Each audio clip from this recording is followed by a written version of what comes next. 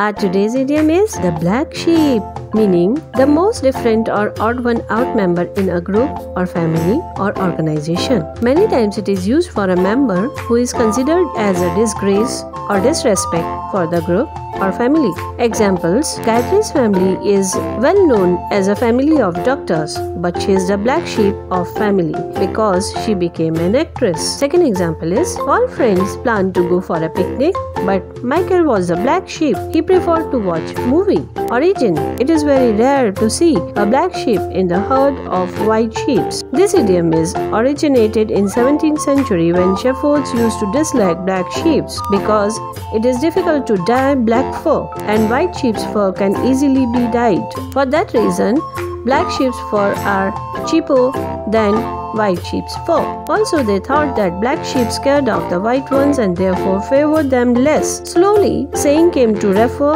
to the least favored person in a family or group. Thank you.